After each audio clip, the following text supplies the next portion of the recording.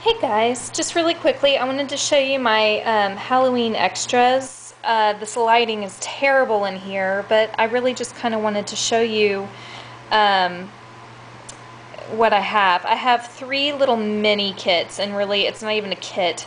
Um, I have these 12 buttons available. Um, I have three uh, little packages of these 12 buttons. So it comes in uh, purple, large, medium, small, orange, large, medium, small, black, large, medium, small, and green, large, medium, small. Okay, and they're all a little bit different in color and style, but they all go really well together.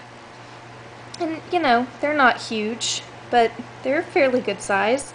Um, and I'll even throw in some linen thread for you to tie in the middle okay? And then I wanted to show you my charms, which seem to be a pretty big hit um, for people who have noticed them on my videos.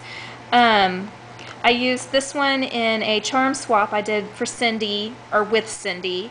And then um, the others, these are in my um, Halloween mini kit, and I sent them to Carla on my 100 um, subscribers giveaway so I love charms, love them, love them. And um, so this is a collection I've created as well, and I have several of these. So um, I also, on my um, new blog, I have um, some, uh, some coin envelopes, uh, four different sizes of coin, coin envelopes um, or you can get them in an assortment. So check me out on my new blog.